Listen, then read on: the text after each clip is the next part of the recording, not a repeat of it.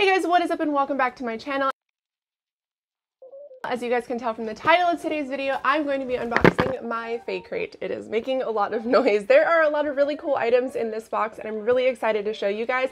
I'm going to go ahead and get into it because I really want to go in depth on the items that we have this month. All the information for Fae crate will be listed down below for you as well. This is a subscription box that I am a rep for, but it is a subscription box that I have been purchasing myself for a long time and will continue to purchase after my rep period is over. It is my favorite box on the market right now. I feel like their items are very unique. I always stress that when I do my unboxings. I just really, really love the thought that goes into the items. And this month, some of the items are amazing and I cannot wait to show you. If you guys are not familiar, there are two different boxes that you can get. One is a bit more expensive than the other and it does come with a t-shirt. That is the one that I got this month. Like I said, I will list all of that information down below. But starting off with the t-shirt, this is what it looks like. It says Ketterdam or Bust. This is amazing. This is the more expensive of the options for the boxes, but you do get a more fandom themed t-shirt every single month. This is obviously for Six of Crows and Crooked Kingdom. This is not a fandom that I actually enjoy, but this is a t-shirt that I will wear because the t-shirts from them are very, very soft. I absolutely love them. I think that they are wonderful. And as with every unboxing, I will leave every single vendor down below so you guys are able to find a little bit more information if you are looking for it.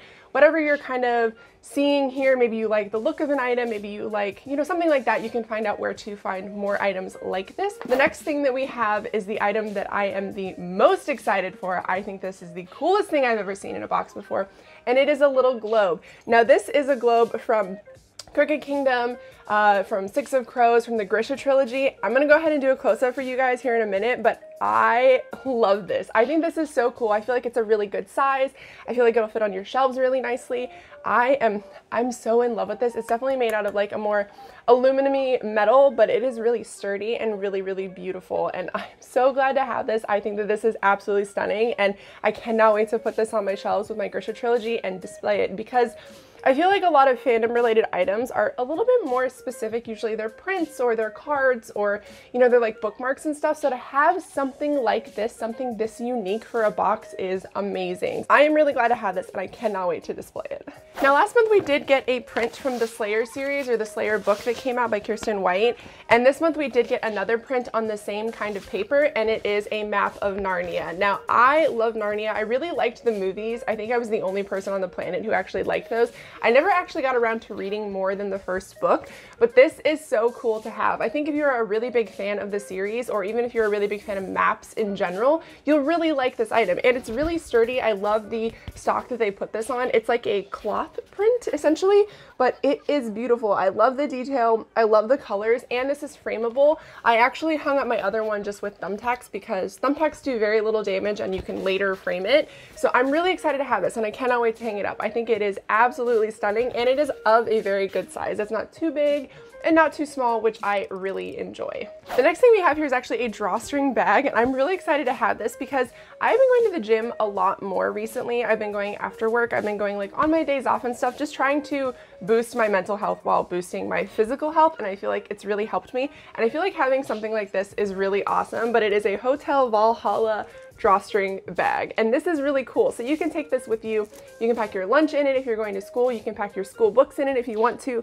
Like I said, I'll probably use this for the gym just to throw everything in to get it to get it there and back. But this is beautiful. So I'm really excited to have this. This is definitely more of a kind of like a, what's the word? Kind of like a, I always want to think potato sack, but that's not really correct. But I do really like the material this is made out of. It is very sturdy. And obviously, like I said, it is a drawstring bag. Not too big, not too small either. With drawstring bags, because you do kind of hold them on your shoulders, you want them to be of a more manageable size. You don't want them to be too large or too small because obviously you want to be able to carry stuff but you don't want to carry so much that it does cut into your shoulders. So I think they chose a really good size for this. And I love the color. I love that it's very simple as well. I think this is something that a lot of people can use. And also with drawstring bags, they are obviously reversible. You can wear them however you want. So even if you don't like the design, one day you can flip it and wear it a different way. So I really, really like this. And I think it's an awesome idea. And I do like the design on it as well. Now the next item we have here, I'm also really excited for. I think this is super cool, especially because spring is on its way and it's travel season.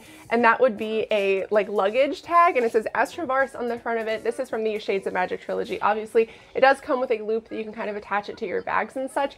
I know a lot of people are getting geared up to go to BookCon. I know a lot of people who are going away for spring break. I know a lot of people who are going to be traveling this summer. And I feel like this is a really, really awesome idea. On the back, it obviously has your name and your address and how to get a hold of you on telephone if your bag is lost. And I feel like for a lot of us, this is a really good item to have because it shows our geekiness, but it's also you know, a more practical item. And that is something that I really appreciate with Faecrate. I feel like a lot of their items are more practical and that is something that I look forward to in a lot of their boxes. So this is something that I'm really excited for.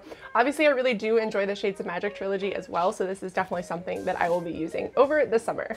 So the next item we're gonna talk about is actually the item that I am so excited to get every single month in Faecrate, and that would be the Polaroid. And this is the one we got this month. This is Lord of the Rings. This is Legolas and Gimli as if they were on tour. Now I collect these. This is something that I look forward to every month. They have not let me down. I feel like the art is really beautiful in every single one of them. And like I said, I will list down below all of the vendors so you can find more information on kind of who makes these things.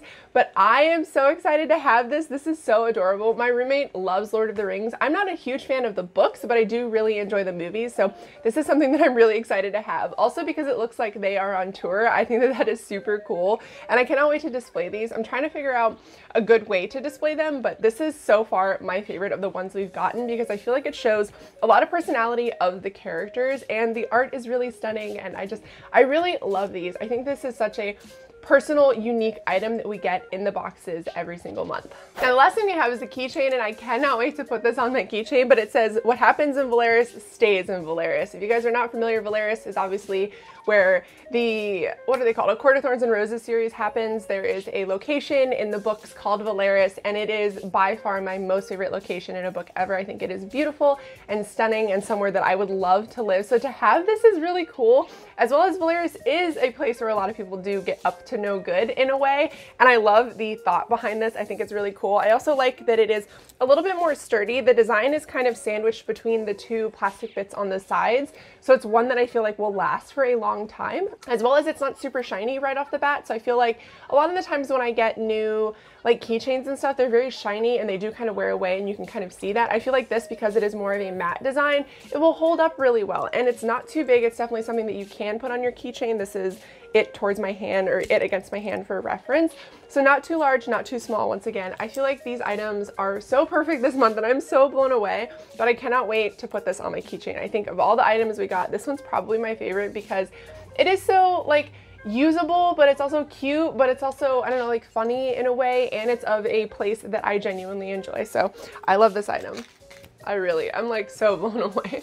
Now the last item we have here is our book and I'm really excited for this book. Not only is it my favorite colors, it is just, it sounds like a book that I'm really going to like. It is Dark of the West by Joanna Hathaway. I love books that look like this, like the old school kind of like I don't know. I always want to say Victorian, but that's probably not correct. I just love the way that this is going to look on my shelves first off. I'm going to go ahead and read the description for you guys so you guys can kind of see if it is something that you'd be interested in. But it says, Ariella is a princess of a small kingdom in the north, raised in privilege but shielded from politics as her brother prepares to step up to the throne. Halfway around the world, Athan Dakar, the youngest son of a ruthless general, is a fighter pilot longing for a life away from the front lines. When Athan's mother is shot and killed, his father is convinced it's the work of his old rival, the Queen of Etania, Ariella's mother. Determined to avenge his wife's murder, he devises a plot to overthrow the queen. A plot that sends Athan undercover to Etania to gain intel from her children. Athan's mission becomes complicated when he finds himself falling for the girl he's been tasked with spying upon. Ariella feels the same attraction, all the while desperately seeking to stop the war threatening to break between the southern territory and the old northern kingdoms that control it, a war in which Athan's father is determined to play a role. As diplomatic ties manage to just barely hold, the two teens struggle to remain loyal to their families and each other as they learn that war is not as black and white as they've been raised to believe. So I'm really excited to read this. A lot of books that I tend to enjoy in fantasy, because this is definitely a fantasy novel, one has some form of romance, but two has some sort of subterfuge in it. So the fact that one of our main characters is actually going undercover to kind of woo one of our other main characters for information, I think I'm really gonna like that. I also like denser reads that do have a bit of war in them. So I think this is gonna be a book that I'm really going to like. I'm going to try to read all of my books that I've gotten from book boxes or ones that I've been sent for review in the month of April. That's gonna be what I focus on in that month. So it's definitely gonna be a book that I'm gonna be getting around to soon. If you guys want reviews on it, I would keep an eye out for vlogs in the month of April or my wrap up the beginning of May. But I'm so excited to read this. And like I said, it is absolutely gorgeous. And with all of our books, obviously we do get our signed book plate. Her signature is just like mine and she has a little heart at the end of it. How freaking cute. And then obviously we get our Dear Reader letter and on the front of that it says, war is no good for the young or for love. So I'm really excited to read this. I cannot wait. I, I just love Faecrate's books because usually they have either an exclusive cover, they have a book that is just signed instead of with a book plate, or they have a dust jacket free version. I've actually unboxed a few of those so far on my channel from them and I have been blown away by the quality of them and I love having a book without a dust jacket on my shelves that's actually kind of like made that way. But I'm going to kind of go over a little bit of the theme. So the theme for this month was vacation, as you guys can tell. Obviously, it is about traveling and exotic locations and locations from stories that we love, obviously with Narnia, Velaris, things like that.